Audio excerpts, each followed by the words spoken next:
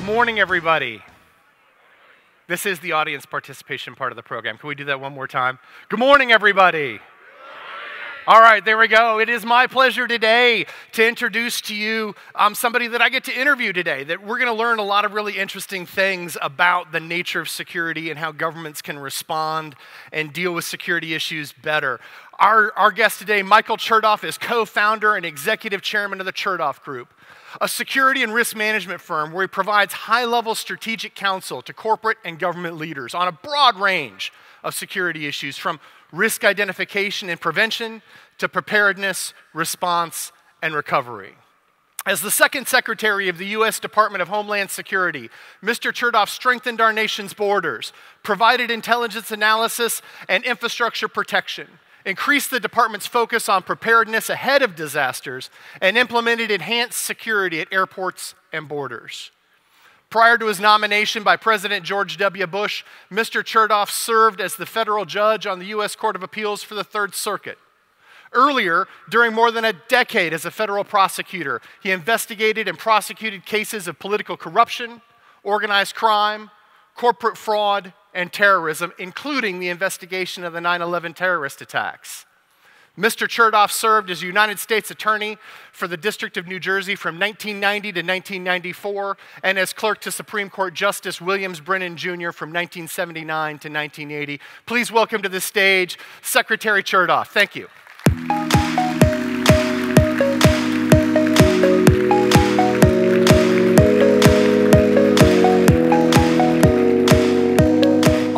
To see, you. Good to see you. So I figured we'd start off our conversation with, you know, a, a light and airy topic just to get us going. okay, so, good. what is the role of government in protecting our national cyber infrastructure? well, you know, if you go, first of all, it's great to be here. Great to see uh, all you bright and early here on uh, what I think is going to be a beautiful day. Uh, if you go back even 20 years, you know, we principally relied on government to protect us against threats, national security threats, criminal threats. Um, and that was in a time when we had a perimeter. Uh, you knew, for example, that if a bomber or a missile was launched, uh, it was going to come in, it was going to be on the radar screen, you were going to shoot it down. In the modern cyber world, the kind of threats we face are within our own country and they're on our own networks. And that makes it much more challenging to rely on government because unless you want the government to operate everything on your network, you're going to have to take responsibility as the network operator yourself. So government can be a partner, can share information, can share intelligence, can share best practices, but government can't do the job for you. It, now, there's one, one exception. Um, there is an element to cybersecurity which we call deterrence. And that involves basically telling the adversary that there's going to be a consequence if they carry out an attack. Mm-hmm. When we deal with criminals, deterrence is about prosecuting them in the criminal justice system, which of course is the government's responsibility. When we deal with nation states, uh, deterrence may mean responding in some other way. And that is the one area where government really ought to have the exclusive responsibility to carry out deterrence. I'm thinking in the context of proactive defense. I just want to push on that a little bit, right? I mean, the first, you know, U.S. Armed Force was the department was uh, you know, the Coast Guard. Right which was designed to you know, protect our maritime fleet and to, you know, as you pointed out earlier, collect and levy taxes. Um, so it is a role of government to protect the basic sort of commercial infrastructure of a nation. So do we have a responsibility to help sort of secure things like Amazon in the same way that we, you know, protect kind of our nuclear infrastructure today? Well, the government clearly has a responsibility to work with the private sector to do it. But you just mentioned the Coast Guard in the old days, there was a coast, and the threat came across into the coast, so you could have a Coast Guard. These days, the threat could come with someone taking a thumb drive, walking into a Starbucks, loading, loading it into their laptop, and then sending it out over the network. There is no coast, and that's why this is a team sport and not something you can exclusively look to the government to do how do we envision those sort of public partnerships working? Is it just about standards and regulation, or is there an active defense sort of posture that we can take as well? Well, we want to be careful with the phrase active defense, which I've discovered means a lot of different things to different people. Clearly, you want to have information sharing, and the government can provide and does provide platforms where the private sector can come together and share information about threats. Uh, we want to share information about tactics that can be used in best practices. All of that, I think, is uh, an important thing for government and the private sector to do together. Now, active defense to some people means hacking back. Uh, you've been attacked, you want to go and take the server that attacked you offline or maybe recapture your stolen property. The problem with that is uh, if you put that in private hands, you're creating kind of a free for all. And first of all, the private companies may be breaking the law. That's one issue. Second, uh, they may wind up uh, inadvertently harming an innocent third party with tremendous liability consequences. And third, they may wind up escalating a conflict to the point that we really get into a, a, a serious uh, battle. So I think that when it comes to what I call active defense, which is defending forward outside of your own network, that's an area where I think the government has to be the, the principal actor. Okay. What about establishing standards or guidelines or best practices or even, you know, so you have sort of passive active defense measures, yeah. such as even you could think about the Huawei situation as possibly being a passive active yeah. defense tactic? I think the government does have a role to play in, in helping to set standards and guidance because I know one of the challenges that companies face is knowing how much to invest, uh, what is the return on investment in security uh, and how much is more than you need to do.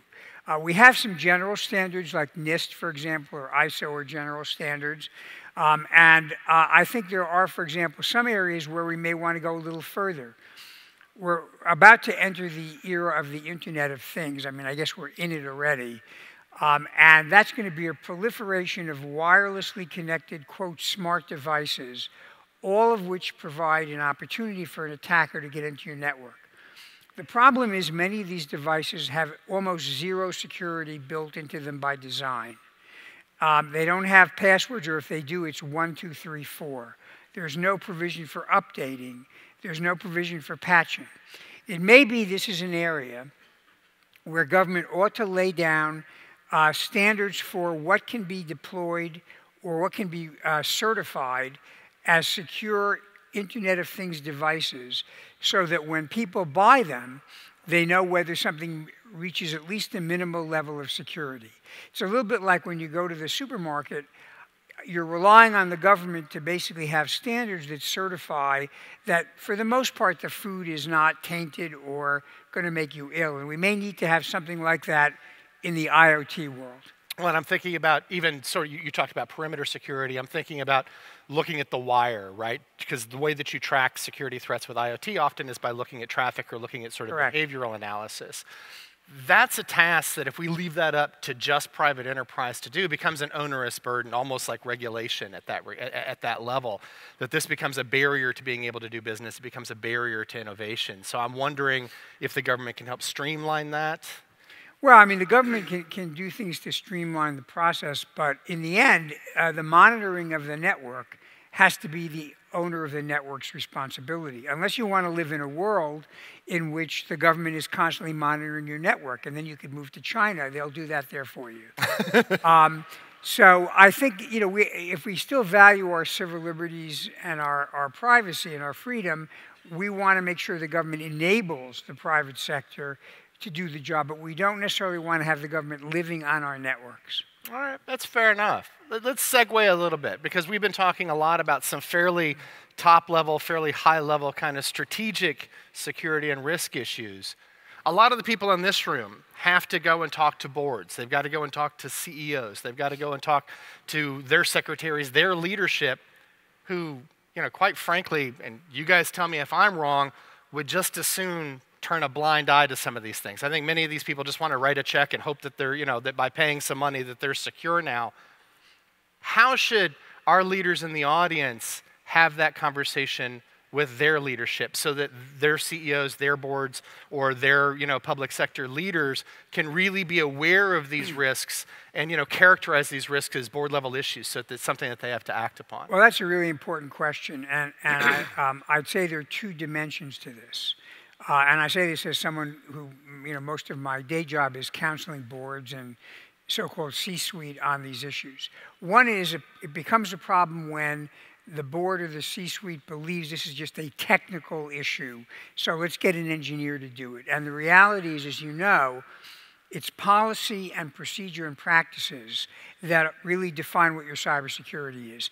The technical tools enable that, but the technical tools without the policy and procedures don't really do the job for you. The second problem is there are so many solutions out there that are being tossed at people and companies that you could bankrupt yourself if you buy all the tools.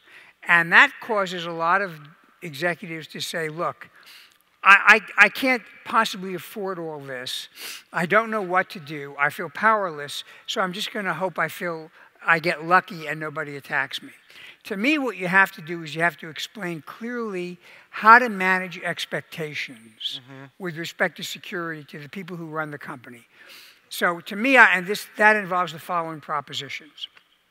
First, you've got to disabuse people of the idea that there is a solution that will prevent you from ever getting breached or, or attacked.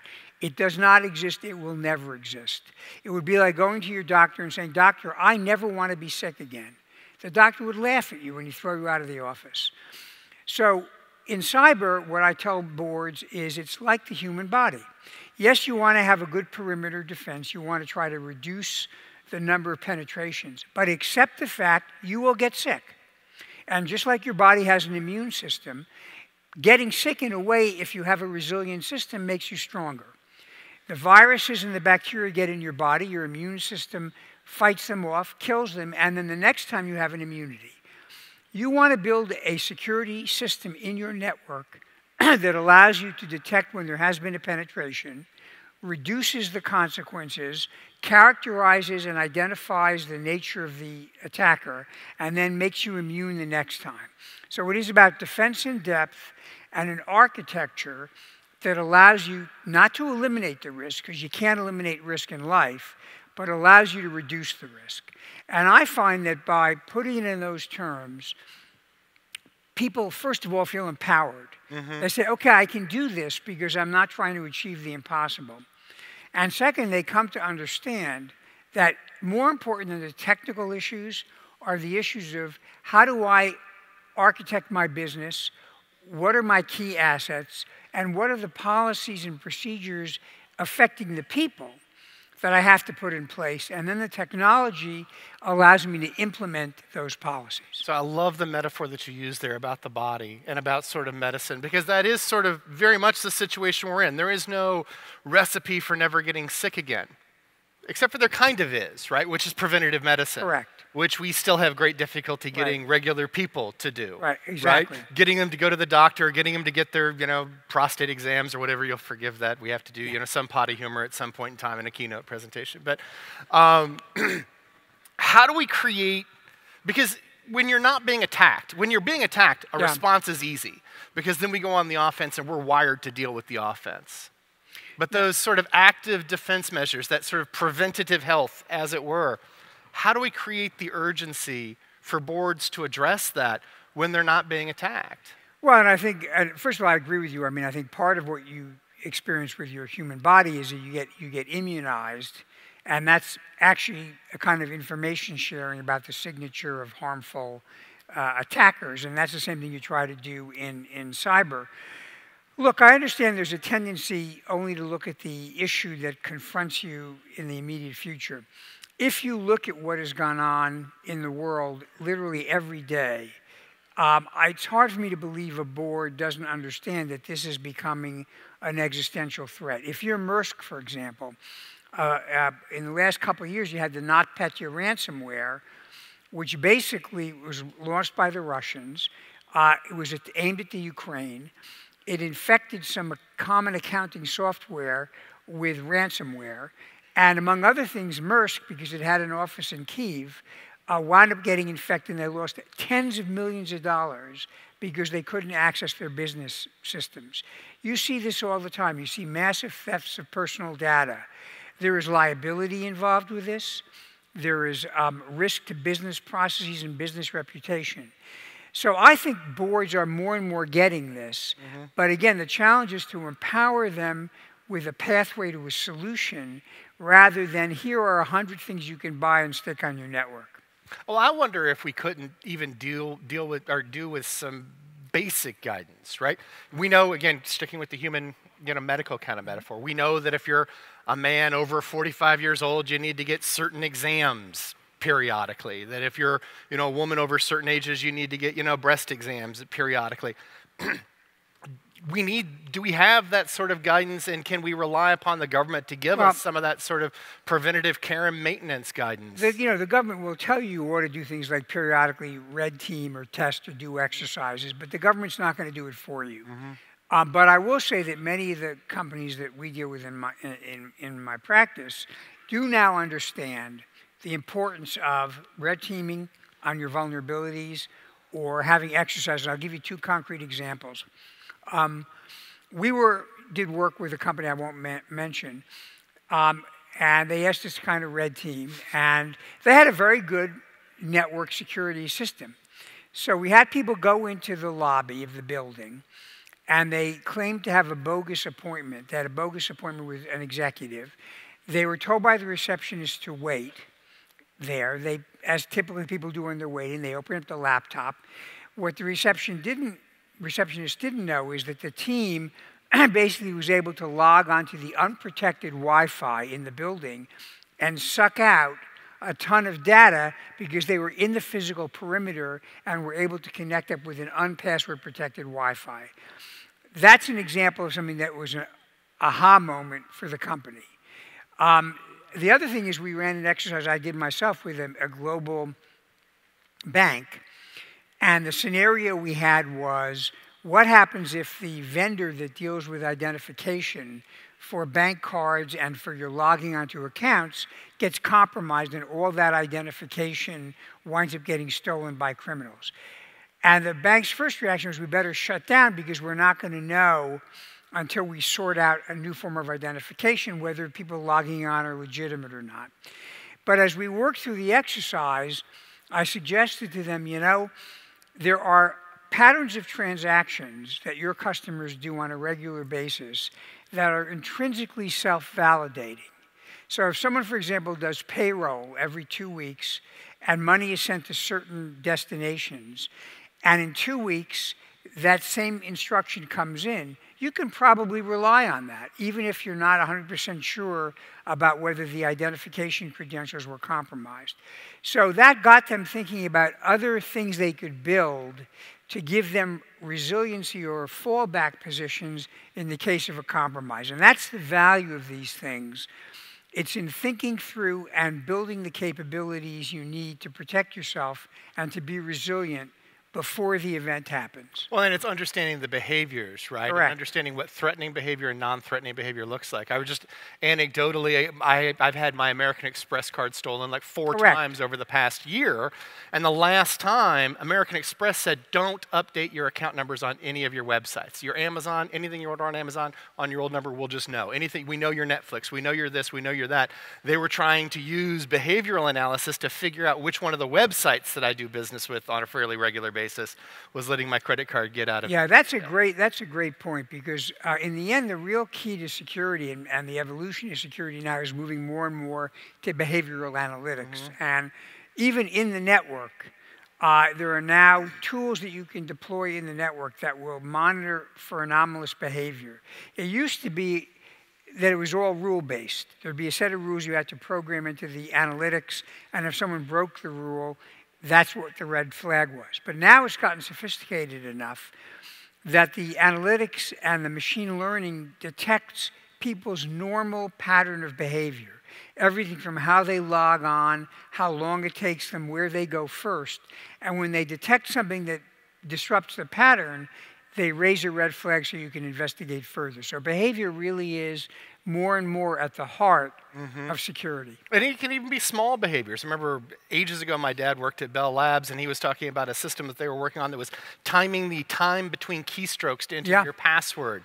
Because it wasn't your password that was getting you into the system, it was your ability to type a particular phrase using the same sort of Yeah. And someday we're going to move to a system where multi factor authentication is going to be not just your biometric and a password, which we all know is inherently weak, but will involve uh, where you are, uh, your keystrokes, um, all kinds of things that are very subtle physical and mental cues that the machine can pick up.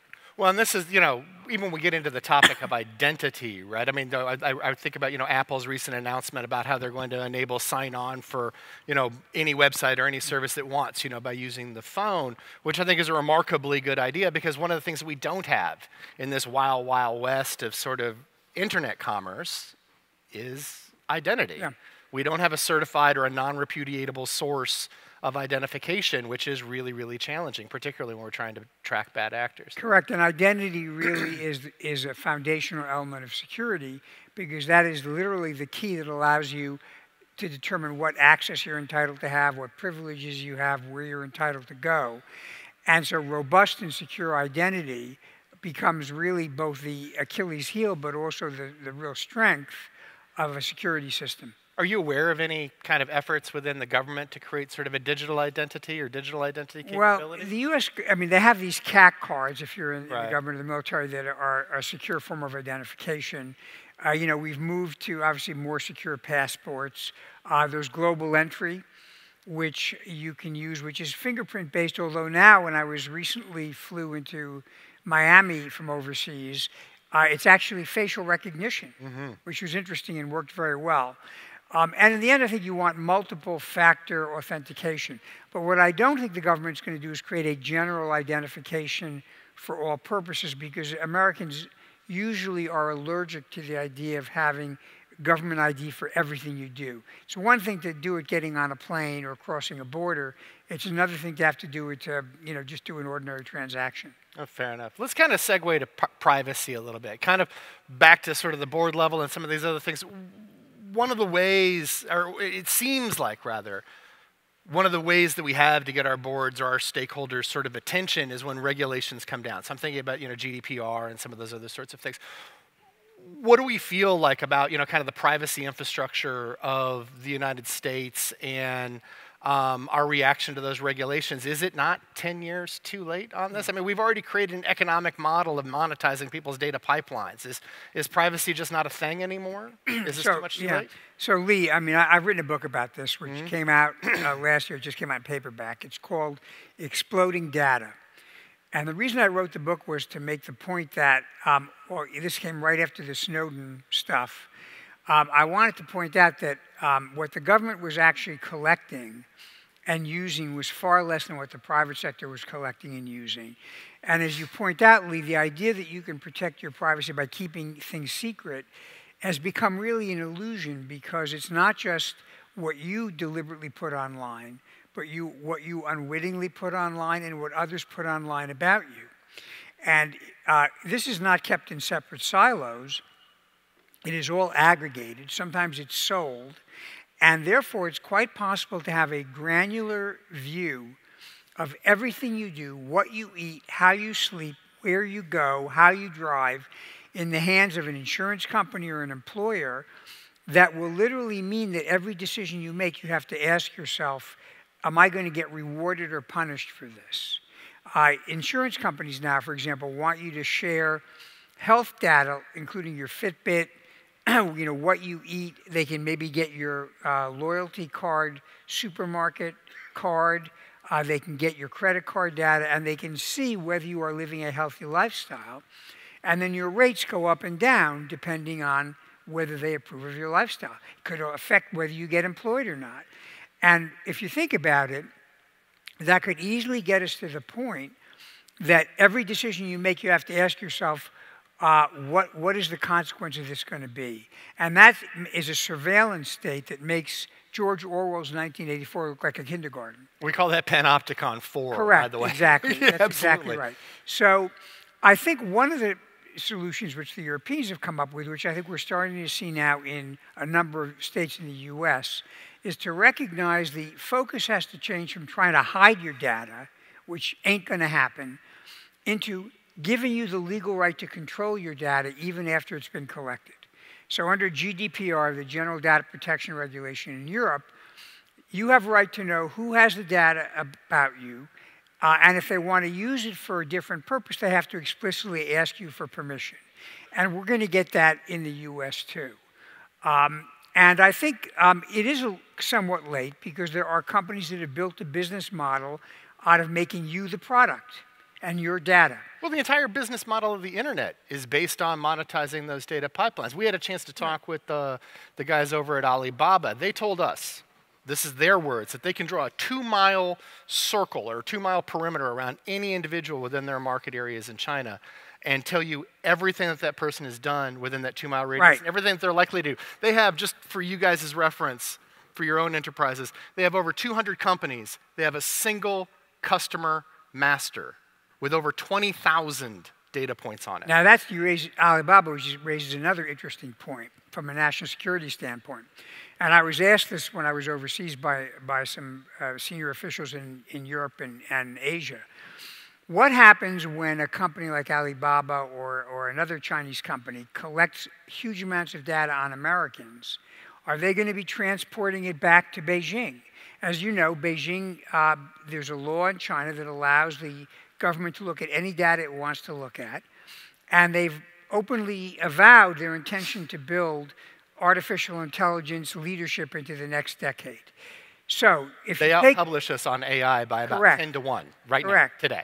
so if you bring all that U.S. person's data to China, does that mean the Chinese will build? This is a rhetorical question. A giant database about Americans, where they know everything individual Americans do, health, relationships. It's all fed into artificial intelligence, and it becomes a powerful tool for intelligence, for disinformation campaigns, for um, uh, propaganda, and for counterintelligence. So, I mean, I think data is now becoming a significant feature of our national security set of strategies. So we were talking earlier about the, the, the social credit score in China and some of those aspects as well. And I know that seems sort of creepy to some people, but pushing on some of that. I mean, we have a de facto social credit score in America. It's just your credit score, though. But that determines whether I can get an apartment, whether I can get a job, whether I can get into graduate school, all these other things. I mean, is not maybe richer data better? in Well, some ways? and I I'm, I'm just pushing on you. I'm not, Yeah. I'm not actually arguing the position. I mean, the question is is data for what purpose? I mean, the credit score is still basically meant to assess your financial uh, um, position and whether you're financially reliable. But now let's take the issue of your health. There's apparently now an app that is available to employers called Ovia.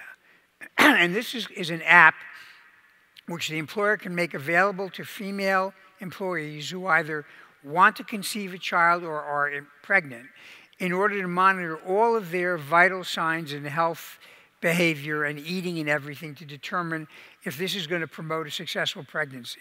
Now, this is supposed to be anonymous, but you all know that when you have a relatively small number of employees, it's an illusion to believe it's going to be really anonymous. So I'm saying to myself, seriously, you want to have your employer, if you're a, a, a pregnant female or want to conceive, you want your employer to know everything about your pregnancy? So we are developing a much wider database. And um, I think we need to, again, think carefully about what control you have and what freedom you have in terms of sharing that data. Now, maybe one of the answers is this, and I've said this, suggested this in, in my book, that when you are dealing with a service online that is effectively a monopoly because of the network effect, you should be obliged to offer customers a choice.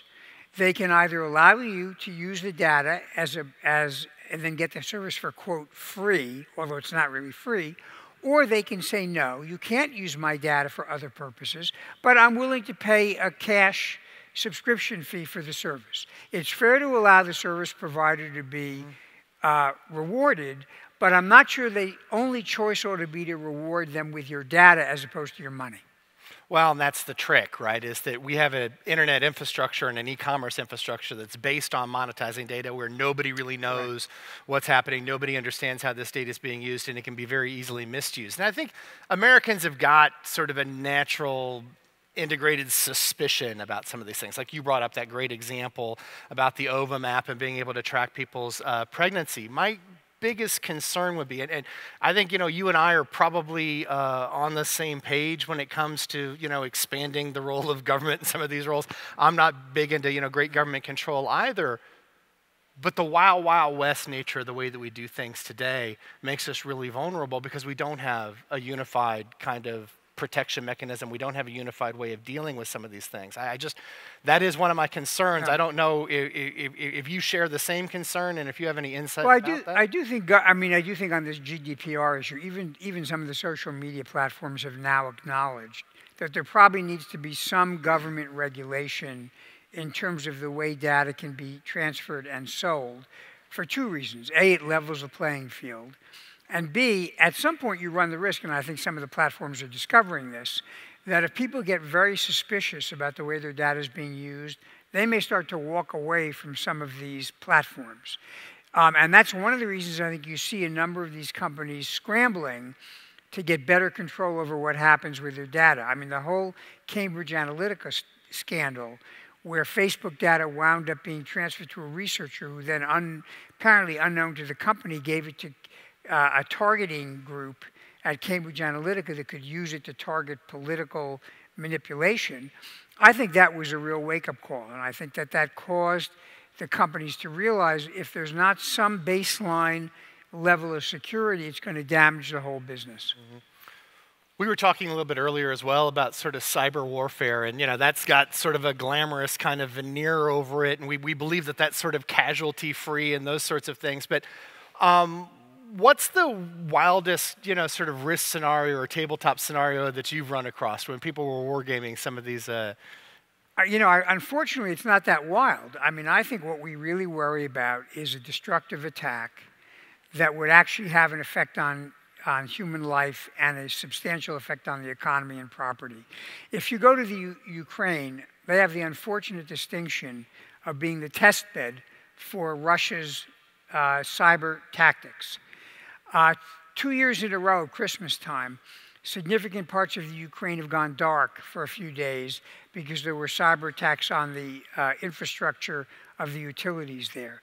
The, the Department of Homeland Security has said publicly that they found Russian malware in some of our electric grids.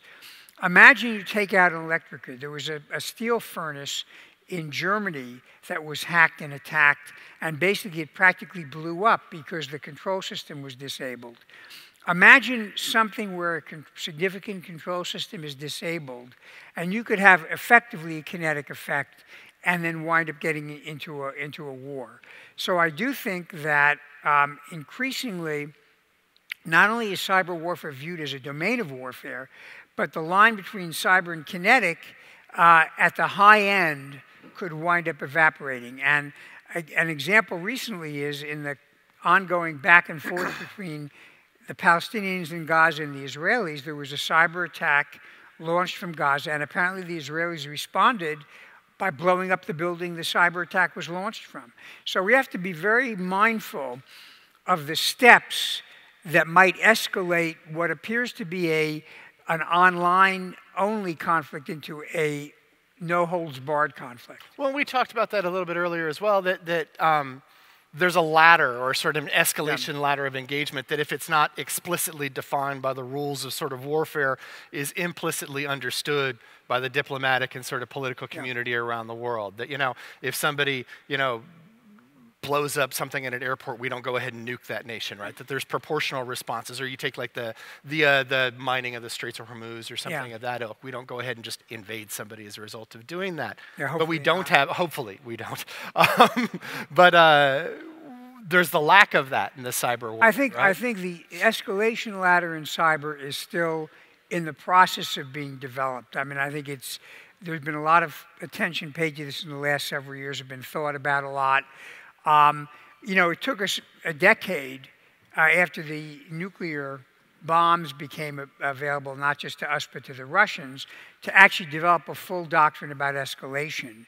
Uh, and the key is you want to be able to respond in a way that sends a powerful message, but not in a way that slides you into maybe something getting out of hand. So one example in the, in the nuclear era is uh, there was kind of a tacit understanding that you don't respond to a conventional attack with a nuclear response. It's never been 100% sure, but essentially, if you look at the actual practice, in no conflict the US or Russia have been involved in since 1950 has one side or the other used a nuclear weapon. Uh, uh, even if there was, it got a little bit close sometimes. Um, and that was because of a sense that if you cross that threshold, it would be very difficult to know where to stop. And the, I know there are people who talk about tactical nuclear weapons. I'm not sure anybody really believes that you can define tactical and strategic uh, very clearly.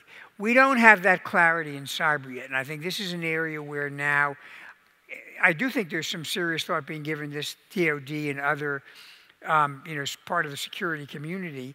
But we also need to understand how our adversaries are thinking. Mm-hmm. And one of the problems is, although we've had some nuclear proliferation, there's a hell of a lot of proliferation of cyber attack tools. So you're trying to come up with a doctrine of escalation where there are many, many more actors involved, including some like Iran and North Korea that are not operating out of the same worldview that we are. Well, that brings us to rules of engagement, right? The, the real question about rules of engagement what do we do with these tools? We have nation states creating hacking tools that, in a few short months or in a few short years at the absolute longest, wind up in the hands of teenagers. We would never allow the ability for regular people to be able to print their own viruses or whatever, but or, or make their own IEDs or make their own sort of laser guided bombs or what have you. So we keep these weapons intentionally out of the hands of people, but weaponizing AI, weaponizing some of these tools, or even you know, taking tools that were intentionally created as weapons and repurposing them in the hands of civilians is a real concern. No, this is a big issue, and I think that I'm, I'm on this, I'm co chairing something called a Global Commission on Stability in Cyberspace, uh, which just actually just met in in the Netherlands a couple days ago. It's trying to look at some of these global issues about international law and the norms that apply in in cyber. And um, I think a couple that you're raising, which are worth looking at, are how do we deal with the fact that there's a marketplace for these tools? If you go into the dark web, which to be honest is most of the internet, not the stuff that everybody thinks about. Uh, there are marketplaces that sell all kinds of tools uh, including destructive tools, and they can be used by ter terrorist groups or criminal groups. The other challenge is when we do create an exploit, the government does, to, to carry out an attack for a legitimate purpose, how do we prevent it from being captured by the um, adversary and then repurposed against us? And we've seen that from time to time. And it may be that uh, what ought to become part of the norm that we obey when we act as nation states as that we design code in exploits or weapons that make it a one time only proposition that self destruct after you use it once so that you can't repurpose it in much the same way as we have rules about how we work on experiment with biological agents to make sure they don't get out of the lab. So, I mean, I think there are a lot of serious questions about the design and the use of some of these offensive tools, which again need to be taken into the cyber age if we're not to widely distribute some very dangerous capabilities. Well, I'm curious if we don't need given the fact that our adversaries have got very, very, very close public private relationships between their nation states and the companies that support them, to the degree that the public state often directs, yeah. and I'm not going to name any countries out there because that's not my job, but, that, but to the degree that the state often directs private enterprise what to do, I wonder if there isn't an American solution to that sort of a problem, that a combination of some of our telcos, the government, and some of our critical you know, commerce infrastructure don't get together and create a collective or a consortium of some sort that helps tackle these issues. Because you, you talked a little bit back in the green room about even intelligence sharing. We yeah. can find vulnerabilities, and then there's reticence sense to share that even with some of the providers of some yeah. of our critical infrastructure for sources and methods. And I think that, you know, one of the issues is sometimes uh, I, I, think we overly uh, protect uh, some classified information from our private sector partners because I do think sometimes um, you know, they, they pass background checks. There's a question of whether they need to know it, but the reality is if you don't share, uh, then it's useless because the private sector can't make, make use out of it. So I do think there's some more sharing. An area where you're beginning to see a little bit of partnership is the 5G area. That's exactly where I was going to segue to. And, and the, you know, the question now is we're about to go to a dramatic change in the infrastructure that relates to all of our wireless online activity, which is 5G. And uh, I was at a program uh, about a, week ago in, in Europe with AT&T being present, and they were making it very clear 5G is not, as you know, 4G, you know, kind of taken up a level. It's hugely different. And also, some of the dis distinction between the core and the periphery doesn't really make sense. So, right now, Huawei, partly because I think they get a little bit of help from the Chinese government, and I put little, little. quotes, is selling uh, very inexpensive and, to be honest, quite high quality 5G infrastructure equipment around the world. The challenge, and I think the US government has said this publicly, is that whoever controls that equipment and sets the standards and provides the hardware and software is going to wind up being in the pivotal position in terms of managing what goes on over that 5G network going forward. And whether that means uh, obtaining data that crosses the network or even potentially dialing up or dialing down the efficiency of the network as a way of gaining leverage if you're in a geopolitical dispute. The serious issue is do you want to have the US and our allies dependent on Chinese goodwill in terms of the most, perhaps most important foundational element of the next uh, 10 years of our, of our global economy? The US, for quite a while, has made it very clear the government, working with the telcos, you don't want to put uh, Huawei equipment at the core of your, of your network. Uh, I think now we're broadening that out, and we're now in a dialogue with the Europeans and other allies about what they're going to do. One of the things that probably needs to happen, though, is we don't really have an equipment industry in the US anymore. It's been largely acquired or taken over um, overseas. Um, some of it's, I think, Nokia bought Lucent eventually after Alcatel bought it. Uh, we have Ericsson. But it might make sense for us, to, again, to invest or create incentives on a national level in promoting the development of core infrastructure and equipment that we need in the next 10 or 20 years, whether it's secure chip foundries, secure 5G equipment. I mean, this is the building blocks. And, and, and much as we want to maintain, maintain our defense industrial base, maybe we need a cybersecurity industrial base that we need to strategically foster. That is an outstanding point to end our conversation on as well, there, Secretary Chertoff. I just wanted to thank you for, for myself and from Gartner for coming out here and having a chat with us this morning. It was absolutely amazing to get to meet you and to talk to you backstage and talk to you up here as well. And just thank you very much. Just everybody, My let's pleasure. give uh, let's give them a round of applause. Thank you so very much. All right, thank you. That's awesome. Great. Yeah, that's awesome.